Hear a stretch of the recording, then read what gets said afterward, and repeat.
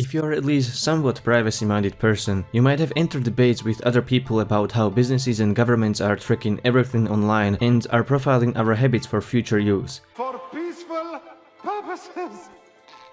You perhaps even suggested several steps you took to protect yourself and that your fellows could do it too. But then you realize you were just asking them to do something, which is always a no-go when it comes to protecting your rights. The usual answers then go something like, Oh, sure, it's horrible, but what they can do with all the information, right? Sure, if I can't imagine the malicious intent of constant surveillance, there must be none, right? Or, I don't care if they see my email or Facebook messages, I have nothing to hide. Or the resigned one that says, your encrypted messages can be intercepted anyway, so what's the point? Everybody spies on you. There are no alternatives, so why bother? And then there is the security guy that wants to turn his entire country into a giant prison. But look at all the attacks they've prevented by watching us. Look at them. You see that? No, you don't, because they didn't happen. Am I right? We are safe now. Edward Snowden is a traitor. The last stage of infection is the worst and there is not much help that can be done beyond this stage. But hey, I trust my government. If you get any of those reactions, it might have been because you didn't manage to get your message across. It's obvious that a phrase like, the government collects all your metadata has smaller impact than something like, listen, what you do now might be okay today, but at any point in the future, there is always something about you that will become a problem later on, and someone might be holding just the right information to do with you whatever they wish. By the way, if you are new to privacy, you can check out my online privacy tutorial that I customized based on how serious anybody wants to take it. From two-click installs of some essential software to deep privacy configuration and switching to encryption. Link will be in the description. Okay, back to the topic. Nobody cares about privacy, just like no one cares about my channel. Not even my subscribers watch my videos. Seriously, 6000 people clicked on my videos and I have only 46 subs. Legit, I even lost one sub as soon as I uploaded a video last time. Obviously, there are some people that are vigilant about their rights, digital or real life, and most people might feel a bit of concern when they realize the government can see their genitals. If I had knowledge that the US government had a picture of my dick, I would be very pissed off. But when it comes to actually making some steps, even as simple as installing uBlock Origin and Privacy Badger on your Firefox, that's when we are losing the battle. I've had very long history of activism, mostly environmental, and while you can't find people nodding to your arguments, God forbid asking them to take action, unless it directly impacts their lives right now. There are things I've learned over a decade now that I think could well apply to privacy activism as well. Take my advice as you will. In any case, I'm just trying to at least throw some ideas about how we can succeed more in getting our message across. Advice number one. Don't be like vegans. Hey, I'm vegan. I've learned this on day one when I was fighting for protection of my local environment. Fight for one cause at a time. Don't expect people to turn full Richard Stallman after you had a conversation with them. And please, for the love of us, don't pretend to be a better person because you don't use Google or Facebook. Seriously, what the fuck are you doing?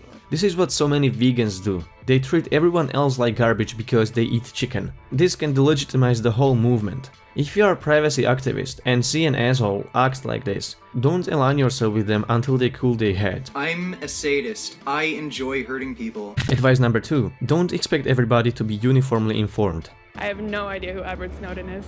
Time is scarce. Thus, each human activity is subjected to trade-offs between constantly choosing one activity over others. This is so basic, but ignored too many times in today's conversations. People have different priorities, and rightfully so. Some people have multiple jobs and struggle to live from salary to salary. They've got enough of their daily struggles and they don't have enough energy left to pay attention to other stuff. Which leads to my third advice. Legal battle is more important than user awareness. Even if we persuade all people to VPN up using encrypted services and ditch Big Brother altogether, we'll still lose because the legal loopholes will still be there to prevent such a scenario from taking place.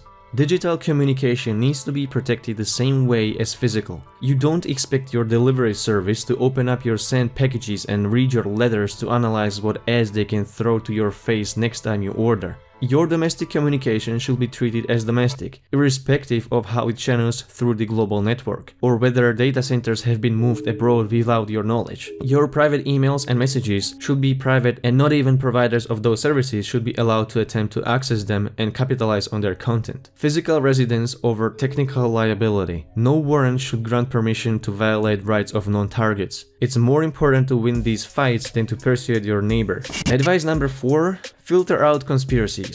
All we know about the government spying is what we learned from the leaks. None of those suggest secret world meetings of lizard people doing orgies with devil. What we do know is enough. The NSA is tracking every cell phone on the planet. All online communication is collected in bulk. All that's collected is stored indefinitely, targeting people without warrants. There is no need to add up anything to this. Speculations are okay as long as they are within reasonable limit and not presented as facts. But additional unproven conspiracy theories just delegitimize all the effort of those who try to point to the already proven existing problems. We don't have time to waste for conspiracy theories. Advice number 5. The liberty argument works.